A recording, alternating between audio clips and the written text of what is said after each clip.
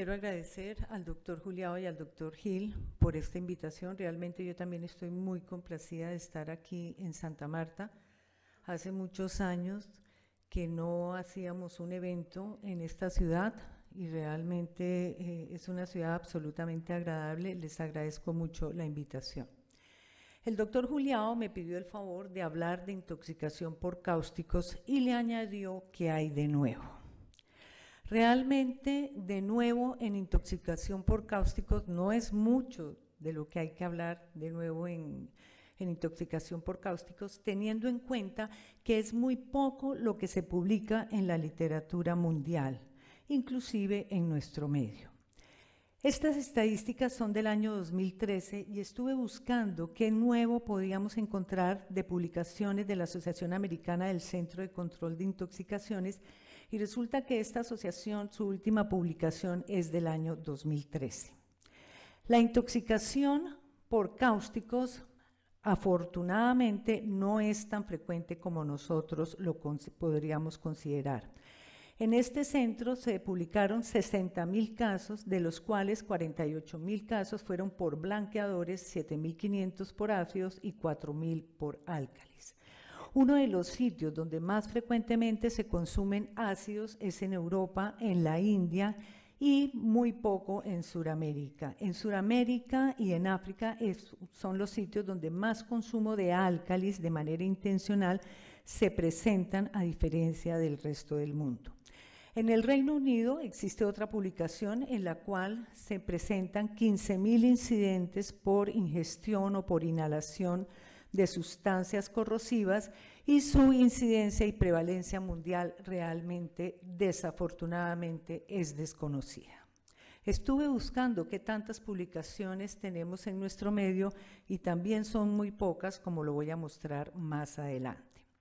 ¿Cuáles son los grupos de riesgo? Los grupos de riesgo más frecuentemente es en los niños entre los 2 a 6 años, los cuales lo ingieren de manera ocasional. 80% de los casos se presentan en niños entre esta edad y 20% en adultos entre 30 y 40 años que lo hacen de manera intencional. Esto es importante diferenciarlo si es de manera intencional o si es de manera accidental, teniendo en cuenta que el comportamiento de la ingesta o inhalación de estas sustancias es diferente de acuerdo a la forma como se presente la toxicidad. ¿De qué va a depender la lesión esofágica o de la orofaringe que se presente? Primero, de la concentración de la sustancia, de la cantidad ingerida, lo cual es bastante difícil de establecer, el tiempo de contacto con el tejido, porque hay pacientes que nos llegan realmente, nosotros estamos en un centro de remisión y tampoco es que nos lleguen muchos pacientes con intoxicación por cáusticos, pero el tiempo de contacto con el tejido va a depender de la presencia de síntomas que tenga el paciente y obviamente del pH de la gente, si es ácido o si es álcali. Es importante la resucitación inicial en estos pacientes, establecer cómo llega y la presencia de síntomas es lo que nos va a ayudar a predecir el manejo en estos pacientes. El hecho de que haya síntomas nos va a ayudar a establecer la severidad de la lesión. Un paciente que llegue con cialorrea, con dolor torácico, es muy probable que la lesión esofágica o de orofaringe sea bastante severa. La historia clínica forma parte de esto para poder ayudar a establecer pronóstico y manejo en ellos y definir si es ácido o álcali. Establecer el volumen o la cantidad ingerida es bastante difícil en estos pacientes. ¿Cuáles son los componentes? Los componentes ácidos más frecuentemente encontrados en nuestro medio es el ácido clorhídrico, que lo vemos en eh, detergentes que usamos en las casas, el ácido fosfórico, los que brillan metales, para brillar la plata, por ejemplo, y álcalis los encontramos también en el hidróxido de sodio, hipoclorito de sodio y amonio son los álcalis que principalmente se consumen como manera, de manera intencional o accidental en los niños. Las formas físicas también es muy importante establecer por ejemplo, el sólido, ya que el sólido permanece mucho tiempo en contacto con la orofaringe y con el esófago, lo que va a aumentar de esta forma el grado de lesión que se presenta en, tanto en el esófago como en la boca. El líquido, a diferencia del sólido, pasa muy rápidamente por el esófago y las consecuencias pueden llegar a ser mucho menores. No podemos olvidar que aún si el paciente ingiere la sustancia corrosiva, la inhalación de estas sustancias también puede producir alteración de la vía aérea. La cantidad. Es importante insistir en los pacientes si es un sorbo o un trago lo ingerido. El sorbo en un adulto constituye más o menos entre 30 y 50 mililitros, a diferencia de un trago que constituye 60 a 90 mililitros de la sustancia ingerida. Nosotros sabemos que luego de la lesión esofágica existen criterios específicos de acuerdo al tipo de sustancia que se haya consumido. La necrosis de coagulación se presenta mucho más cuando la ingesta es de ácidos y se va a presentar de igual forma la trombosis y cicatrización rápida, lo cual va a ayudar a establecer que el compromiso mucoso no sea tan severo que cuando se presenta una necrosis de licuefacción en pacientes que ingieren sustancias alcalinas. La presencia de eosinofilia desde el punto de vista histológico es otro de los hallazgos que nos puede ayudar a establecer diagnóstico, pronóstico e inclusive mortalidad. Entre los criterios inespecíficos está la necrosis no avanzada, la cariolisis, que es el deterioro de la cromatina, la presencia de células anucleadas, el desbridamiento y la presencia de infiltrados leucocitarios. ¿Cómo establecemos el diagnóstico? La evaluación clínica es fundamental. La presencia de síntomas, como les digo, nos va a ayudar a establecer el diagnóstico. Si existe o no mejoría de los síntomas en el momento en que el paciente ingrese o si los síntomas persisten, la presencia de dolor o de choque, la, la, solicitud de marcadores inflamatorios nos puede ayudar a establecer el diagnóstico, la radiografía de toras y todos los estudios demuestran que los estudios con varios deben quedar de lado. Esto produce alteración a nivel térmico y puede ayudar a contribuir a la necrosis que se presente en la mucosa, inclusive de manera transmural. Por eso no se sugiere utilizar estudios con bario. Nosotros a veces utilizamos estudios radiológicos, pero la mayoría de los estudios, que la última literatura es del año 2017, la mayoría de los estudios dice que no se deben estudiar ni siquiera eh, con soluciones hidrosolubles, sino la endoscopia es el patrón de oro para el diagnóstico y fíjense ustedes que es uno de los exámenes, eh, de los exámenes que con más temor estamos realizando. Este es uno de los estudios, este es uno de los estudios retrospectivos que compara el TAC de abdomen con la, la realización de endoscopia.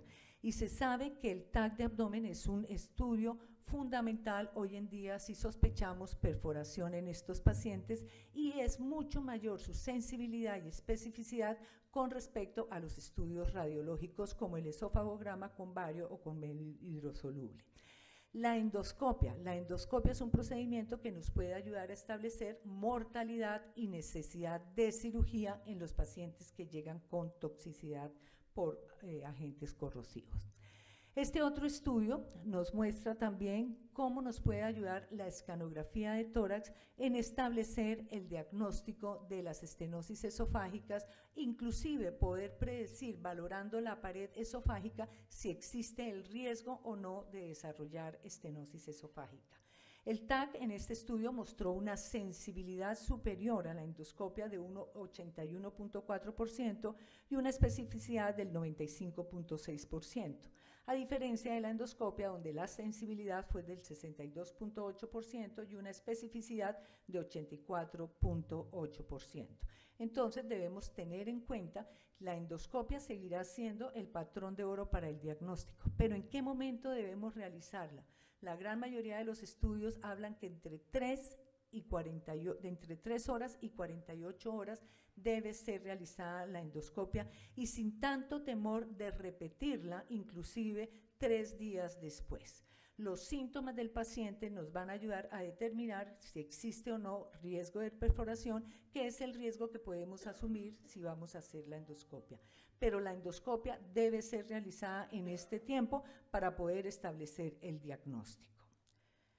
Esta es la clasificación de Sargar que todos ustedes conocen, o por lo menos se las voy a recordar porque admito que a mí me tocó recordarla cuando preparé esta conferencia, ni me acordaba la verdad que existía esta clasificación y debemos tener en cuenta que los grados 0, 1 y 2A son los grados que usualmente no presentan tantas complicaciones como desde el 2B al 3 y al 4, que son los casos que mayores complicaciones presentan en los pacientes que ingieren corrosivos. ¿Para qué nos sirve esta, esta clasificación? Con esta clasificación nosotros podemos predecir complicaciones, establecer si existe insuficiencia, podemos llegar a, presentar insuficiencia respiratoria, establecer mortalidad, porque se ha visto que entre mayor sea el grado de clasificación de Sargar, mayor será el riesgo de que el paciente presente muerte, la autonomía nutricional y supervivencia a largo plazo. ¿Qué desventaja tiene la endoscopia de vías digestivas altas? no predice la profundidad de la necrosis. Nosotros podemos ver la lesión, podemos ver la mucosa negruzca si es eh, un ácido o podemos ver la gris si es un álcali, pero realmente que nosotros podamos establecer qué tan profunda es la quemadura con la ingesta del corrosivo, no lo podemos establecer con la endoscopia. Y al no poderlo establecer, no podemos iniciar un manejo adecuado, no podemos saber si el paciente va a requerir o no cirugía y en muchos de los casos llevar a un paciente a una cirugía innecesaria. Los grados 1 a 2A tienen muy buen pronóstico. Los grados 2B y 3A son los casos que presentan estenosis en un 80% de los casos y el grado 3B son aquellos casos que presentan una alta mortalidad. Pero fíjense ustedes, a todos los que están haciendo encuendoscopia, les quiero comentar que este artículo me llamó bastante la atención. La ultrasonografía endoscópica es un método que está siendo utilizado para el diagnóstico de muchas patologías esofágicas, incluyendo los trastornos motores. La esofagitis corrosiva puede ser determinada la profundidad de la lesión realizando con mini sondas la valoración de la capa total del, del esófago podemos ver esta clasificación de 0 a 3, donde el grado 3 muestra compromiso de todas las capas musculares e inclusive muestra que ni siquiera puede establecerse la diferenciación de las capas componentes del esófago. También puede lograrse la clasificación entre tipo A, si es hemicircunferencial, y la tipo B, que es totalmente circunferencial. ¿Para qué nos sirve poder realizar la ecoendoscopia? Esto nos va a servir para poder establecer si existe el riesgo de desarrollar estenosis y si el paciente puede o no responder a las dilataciones posteriores cuando se logre una cicatrización de la misma. ¿Cuáles son entonces las indicaciones de la endoscopia? Establecer primero, debemos establecer si la ingesta es intencional o no intencional, porque se ha logrado establecer que el riesgo o el daño mucoso es mucho menor si la ingesta es no intencional y es accidental. Los, podemos, los síntomas, sabemos, como lo mencioné al comienzo, los síntomas nos pueden ayudar a establecer o predecir si el paciente va a evolucionar favorablemente e inclusive si tiene riesgos de mortalidad. Por ejemplo, si el paciente tiene una acidosis sistémica, o una acidosis metabólica, pues el riesgo de mortalidad será mucho mayor. Podemos mirar si los síntomas, si no hay síntomas, es muy probable que nosotros no encontremos lesiones esofágicas. El manejo. En cuanto al manejo, primero lo que debemos buscar es que el paciente no se deteriore, que no haga insuficiencia orgánica y evitar que presente efectos sistémicos, como les digo, la acidosis metabólica. Mientras el paciente se hospitaliza en el servicio de urgencia, debemos confirmar qué consumió el paciente, porque el manejo, como les digo, es diferente, identificar el agente, una evaluación general del paciente, establecer el tiempo de la ingesta, si con la ingesta del tóxico, del corrosivo, hubo ingesta, por ejemplo, de alcohol o de algún otro tipo de medicamento, y si el paciente tiene otros factores de riesgos, por ejemplo, un eh, embarazo, por ejemplo, o ha habido algún otro hecho sentimental en su vida, esos factores influyen mucho en el manejo del paciente, porque como ustedes saben, esto es un manejo combinado con el Departamento de Psiquiatría. En cuanto a los sólidos, vemos que debemos buscar que si la cavidad oral se encuentra o no quemada, los líquidos, eh, eh, si el esófago está o no quemado, la incidencia de lesión laringea no es tan frecuente como pensamos y si la boca está quemada y la orofaringe está quemada, de ninguna manera podemos pensar que el esófago también esté quemado. No existe una correlación entre el grado de quemadura de la orofaringe y la lesión esofágica. Es más, en muchos casos de consumo de ácidos podemos encontrar que la laringe está quemada y solamente el 10% de los pacientes tienen quemadura esofágica. ¿Y cuál es el tratamiento? Neutralizar ácidos o álcalis. Eso realmente no se debe utilizar. Al igual que como el bario produce eh, quemadura térmica también, los álcalis y los ácidos no se deben utilizar para neutralizar el material ingerido. Mucha gente utiliza la leche. De igual forma, la leche no debe ser utilizada porque no se ha encontrado ningún beneficio. El lavado es aumentar la quemadura esofágica porque vamos a atraer hacia la boca nuevamente el material ingerido.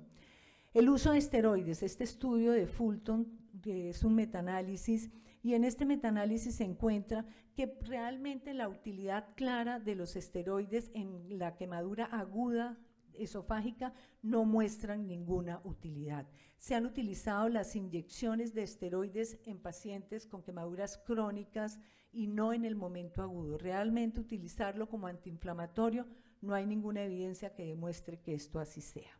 El uso de antibióticos, que en muchos sitios utilizan antibióticos profilácticamente, tampoco ha demostrado tener utilidad. Los antibióticos que se han utilizado se hace cuando el paciente al quemar la orofaringe tiene compromiso infeccioso o hay formación de abscesos, pero el uso de antibióticos profilácticos no es recomendado. La sonda nasogástrica, que mucha gente la utiliza para prevenir estenosis, tampoco ha sido recomendada y es más, las personas que la usen deben hacerlo con mucha cautela.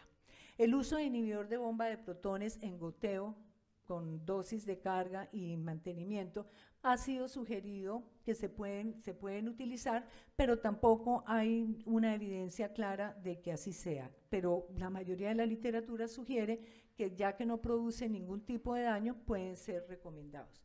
Y el soporte nutricional se debe hacer sin que esto modifique ni pronóstico ni mortalidad.